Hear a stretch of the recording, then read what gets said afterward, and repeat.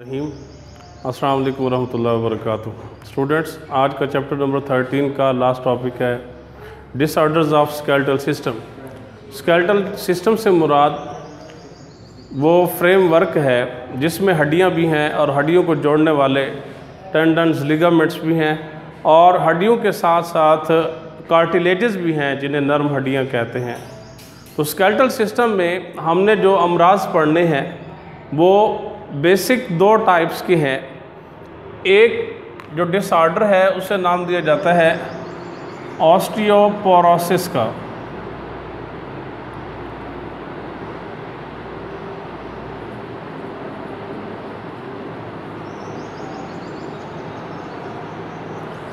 Osteoporosis, ऑस्टियन एक Latin word है, ऑस्टियन हड्डी को कहते हैं। ऑस्टियन बोन। पोरोसिस का मतलब होता है बीइंग पुअर हड्डियाँ कमज़ोर पड़ जाती हैं। क्या मतलब है? मतलब यह है कि हड्डियों में जो डेंसिटी है, जो कसाफत है, वो कम हो जाती है। कसाफत कम होने की वजह से जो हड्डियाँ हैं, उनका वेट भी कम हो जाता है और उसकी मुख्तलिफ़ वजूहत हैं। तो यहाँ हम ऑस्टियोपोरोसिस की डेफिनेशन कुछ इस तरह से करते हैं कि lack of density of bones इसकी जो काजेज़ हैं, वो मुख्तलिफ़ हैं। मसलन,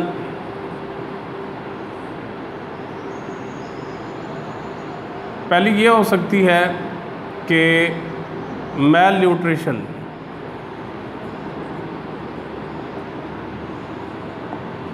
अब मेल न्यूट्रिशन में अगर विटामिन सी की कमी हो जाती है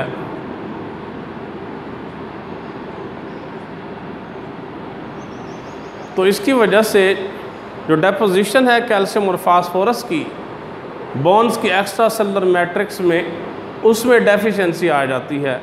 तो उसका नतीजा ऑस्टियोपोरोसिस है। इसके अलावा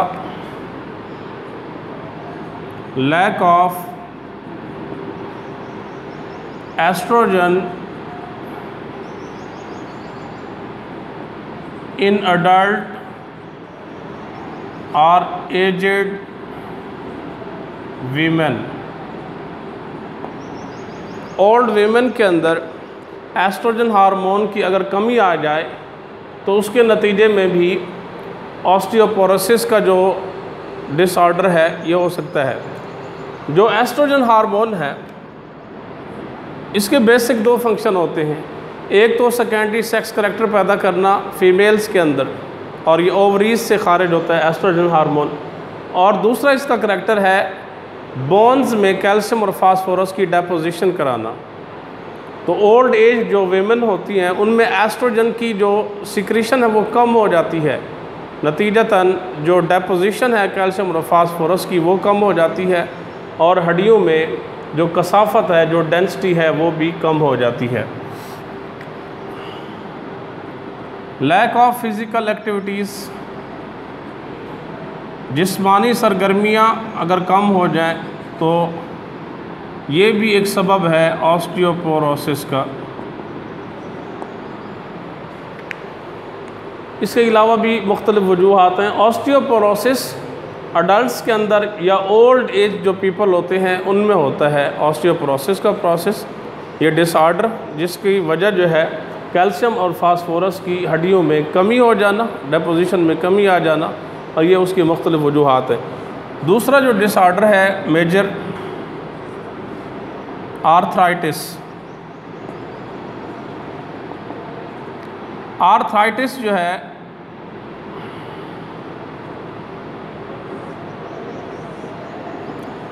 आर्थराइटिस का मतलब होता है inflammation in joints.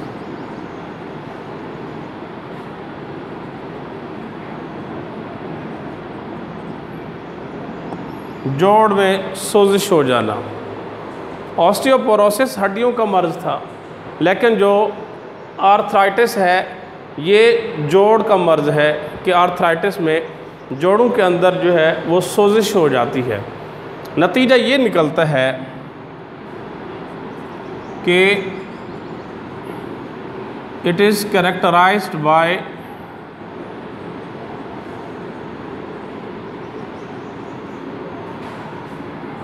stiffness in joints सख्ती आ जाती है जोड़ों में, और पेन भी होता है। पेन भी, इसकी जो मेजर ट्रीटमेंट है, वो जस्ट इतनी है कि anti inflammatory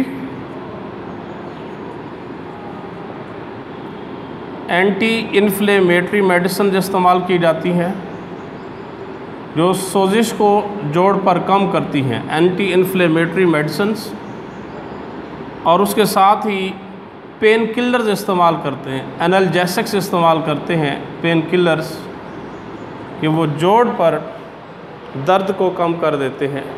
तो ये सिर्फ़ दो इसकी ट्रीटमेंट्स हैं, इसके इलाज हैं। इसकी मुख्तलिफ़ टाइप्स हैं आर्थराइटिस की, मसलन ऑस्टियो आर्थराइटिस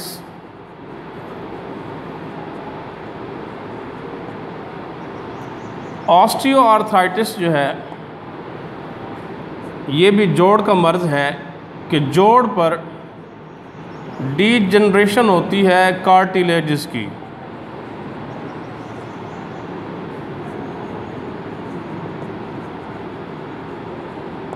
हमने ये पढ़ा था कि जो हायलिन कार्टिलेजेस होती हैं, जो लॉन्ग बोन्स हैं, उनके किनारों पर ये पाई जाती हैं। वहाँ एक हड्डी को दूसरी हड्डी से मिलाने वाला जो जोड़ है, वहाँ उनके एंड पर लॉन्ग बोन्स के एंड पर ये कार्टिलेजेस पाई जाती हैं। तो जब इन कार्टिलेजेस में डीजनरेशन हो जाती है ब्रेक डाउन हो जाती है तो उसके नतीजे में ऑस्टियो का जो डिसऑर्डर है, ये लाक हो जाता है ऑस्टियो इसकी जो सिम्टम्स हैं, उनमें फ्यूजन ऑफ़ बोन्स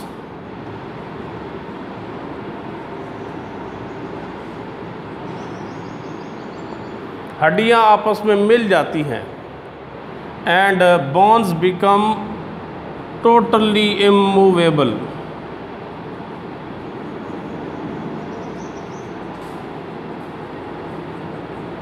गैर मुतहरक हो जाती हैं।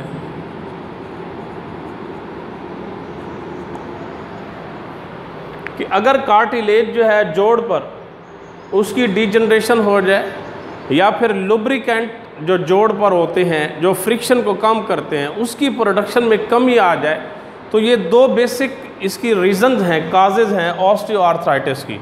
Degeneration of cartilages at joints and production of lack of lubricants at joints तो इसकी जो नतीजा निकलता है वो ये है कि बॉन्स आपस में मिल सकती हैं और मुकम्मल तौर पे गैर मुतहरक हो जाता है वो जोड़, जहाँ हड्डियाँ आपस में मुदगम हो जाती हैं, मिल जाती हैं। इसकी दूसरी टाइप है आर्थराइटिस की, वो है rheumatoid arthritis rheumatoid arthritis.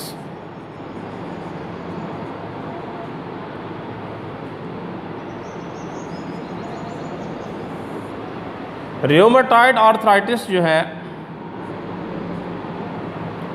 जोड़ पर मौजूद मेम्ब्रेन में सोजिश की वजह से रियोमेटॉइड आर्थराइटिस होता है। जोड़ का मर्ज है, लेकिन जोड़ पर मौजूद मेम्ब्रेन्स में इन्फ्लेमेशन हो जाती है। जिसका नतीजा रियोमाटाइड आर्थराइटिस निकलता है।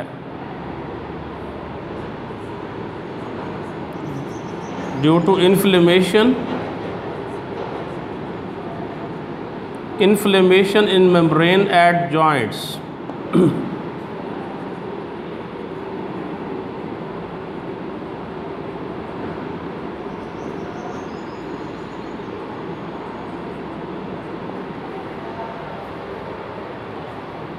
इसकी जो सिम्टम्स हैं, जो अलामत हैं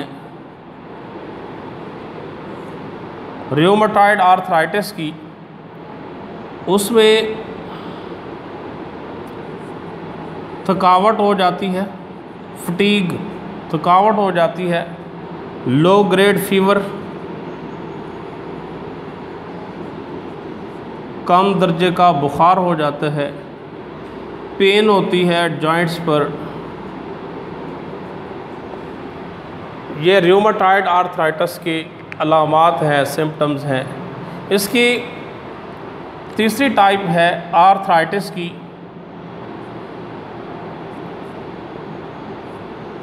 गाउट उर्दू में इसे गंठिया कहते हैं।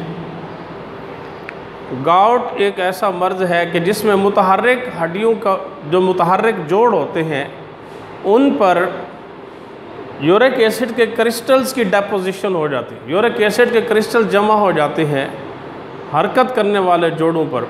तो उसका नतीजा ये निकलता है कि उन जोड़ों में यूरिक एसिड की वजह से पेन शुरू हो जाता है। तो डेफिनेशन कुछ इस तरह से करते हैं गाउट की, कि gout is characterised by accumulation of uric acid crystals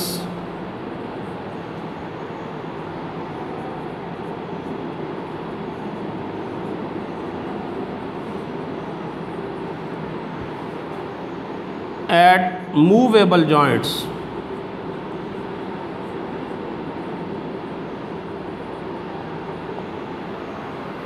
ज़्यादातर ये जो गाउट है, ये जो गंठिया है, इसका जो अटैक होता है, वो पाँव के अंगूठे के जोड़ पर होता है।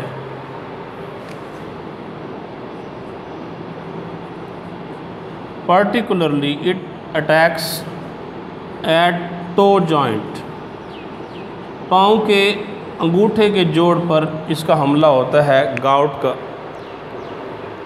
जो आर्थराइटिस का वर्ज है, इसमें जो जोड़ पर इन्फ्लेमेशन होती है पर्टिकुलरली उन जॉइंट्स पर होती है जो वेट बेयरंग होते हैं, जिन पर पूरी बॉडी का वेट पड़ता है। मसलन, जो हिप जॉइंट है तो उस पर जो है, उसमें आर्थराइटिस हो सकता है और वो मुड़ भी सकते हैं।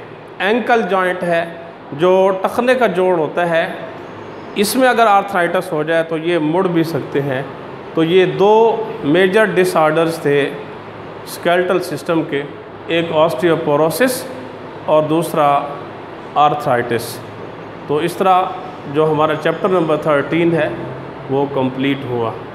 थैंक यू स्टूडेंट्स अल्लाह हाफ़